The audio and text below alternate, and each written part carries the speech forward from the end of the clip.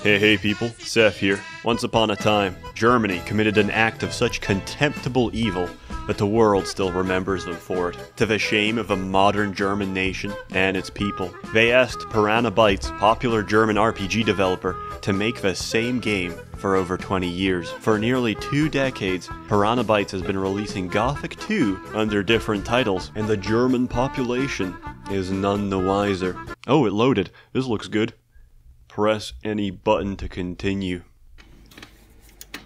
What a terribly coded game. Elex is the latest copy of Gothic 2. The story takes place in the world of Magalan, a modernized planet much like ours, which got hit by a comet containing magic crystals called Elex. Most people die off. The lucky ones who survive become mindless mutants tainted by Elex, while the unlucky ones become Germans. The Germans split into four different factions. The Albs, who consume Elex to become more and more autistic, and thus more powerful the Berserkers, who are like the German version of Amish people, and refuse to use Elex technology, but use Elex to turn into mana, which doesn't count, the Clerics, who are just religious fanatics, and the Outlaws, who are ANCAP as fuck, hate organized government, and hate roads even more. You play as Jax, a man gifted with a unique power. He can jump higher than any white person ever recorded in history. For this reason, the other Albs get jealous of him and shoot down his plane. Then your manlet brother attempts to assassinate you,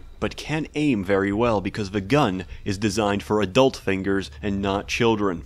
So you survive and fall down the cliff. When you wake up, the elex is gone from your system and you're forced to experience human emotions for the first time, such as anger at the clunky control scheme and confusion at the strange texture popping delayed or absent sound effects, and porn tier voice acting. Stranded among former enemies, Jax has to forge alliances and build trust with the other factions to find out why his allies tried to kill him, and beat the final antagonist of his game, the combat system. While Jax can jump very high for a Caucasoid, helped even more so by his trusty jetpack, this won't save you from Elex's atrocious combat. The system is fairly straightforward. Jax attacks through a relentless combination of quick and strong attacks to string combos together.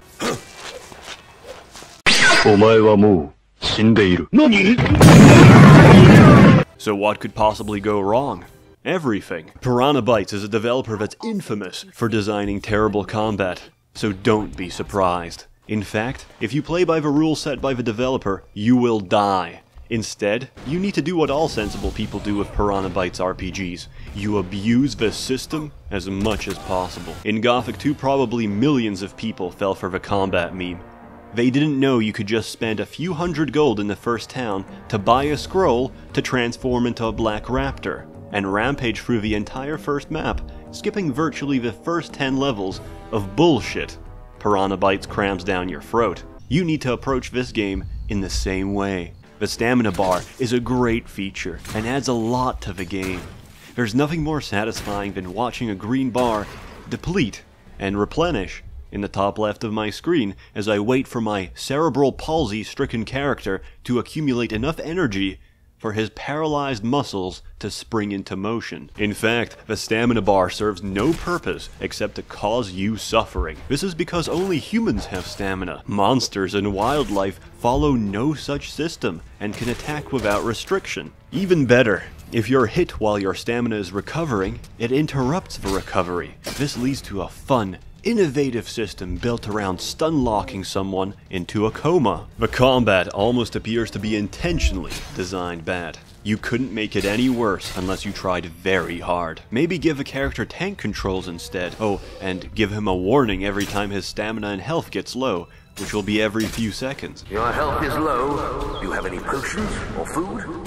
None of this matters when you play the game the real way it's meant to be played.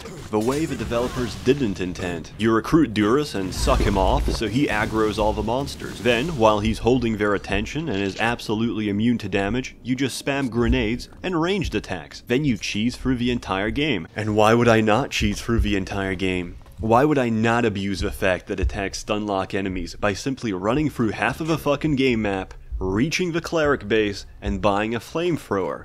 Because, fun fact, You need almost no stats to weld the best gun in the game, which can spit out fireballs that stun lock and knock over everything they hit in a wide radius, so you can safely kill anything in the game without them even having the chance to defend themselves.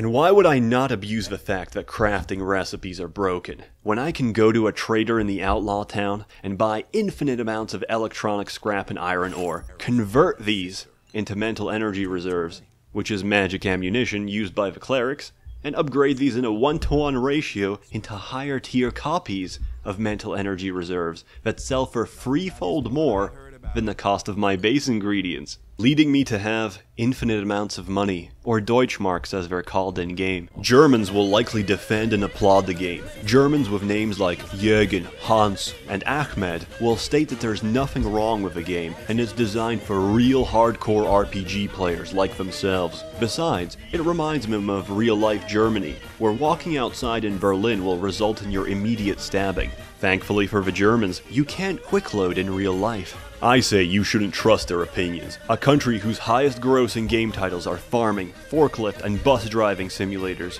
lack the credibility to make any judgments on what's good. To the typical German gamer, Arbeit macht frei, and they cannot separate work from leisure. Modern copies of Farming Simulator are electronically linked to real life driverless farms in Germany, tricking the average German male into supporting the Eurozone economy without pay. The grains produced from such operations are so cheap and plentiful that the EU can afford to airlift them by the metric ton and drop them directly on sub Saharan African villages, instantly drowning the native population in a river of wheat. World construction and level design is stellar, and probably the strongest feature of Elex. Every crevice, nook, and cranny has been clearly handcrafted and stuffed with items, gear, and consumables for you to plunder together with many dangers. The voice acting can be patchy at times with the English dub, but the quests are very well done and offer many solutions to tackle them. The decisions you make influence the opinions and actions of characters, companions, and factions throughout the world, and steer the course of the story toward one of the major groups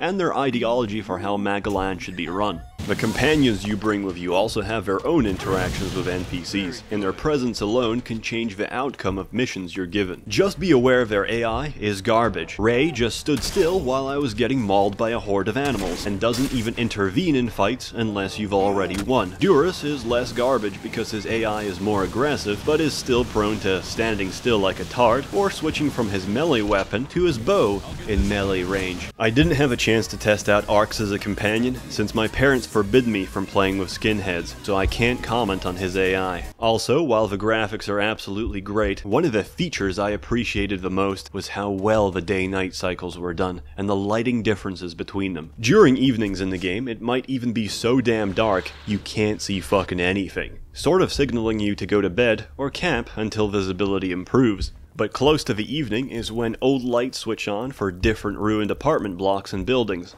Bioluminescent plants provide ambient glow to orient yourself, and the whole game actually takes on a completely different color palette, especially around the different faction encampments.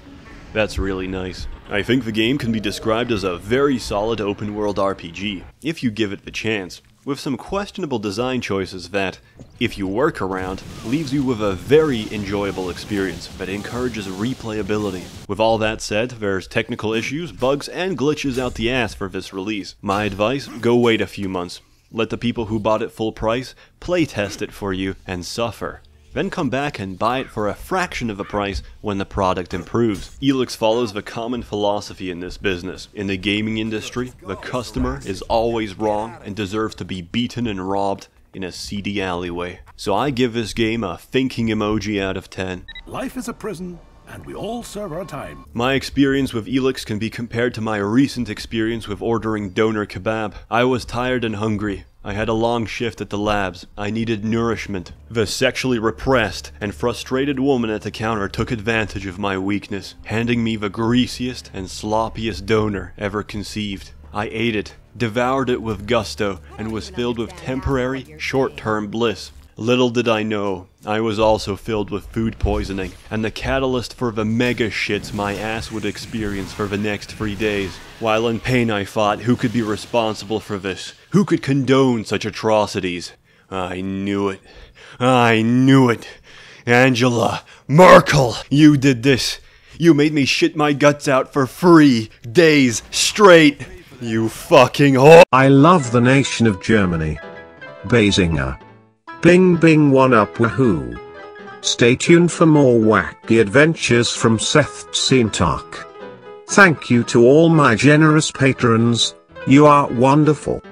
Remember to like and subscribe for an extra molecule of oxygen. Yabba dabba doo.